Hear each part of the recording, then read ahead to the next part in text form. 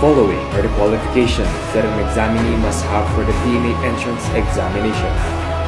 He or she must be a natural-born Filipino citizen, physically fit and of good moral character, single, at least 5 feet in height, at least 17 years old, at least senior high school with a GPA of 85%, and has no administrative or criminal case.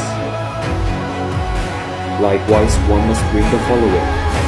Duly accomplished application form, 2 pieces 2x2 ID picture, a copy of PSA birth certificate, and Form 137 or 138 or latest grades.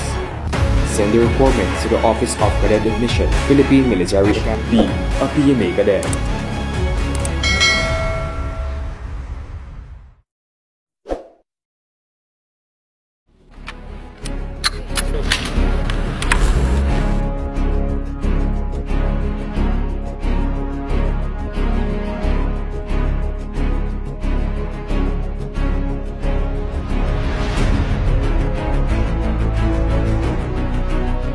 Philippine Military Academy has given me the chance to prove my worth as a person.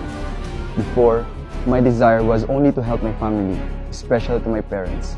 But now, it became a sense of duty, not only for myself, but for our country.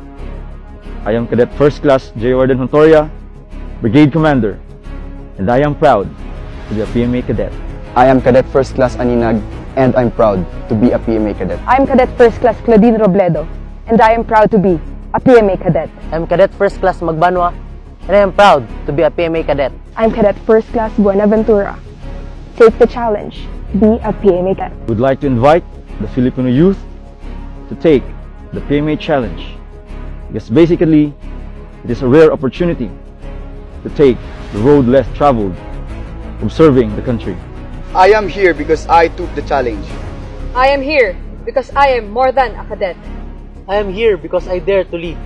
So take the challenge. B. A PMA cadet. B. A PMA cadet.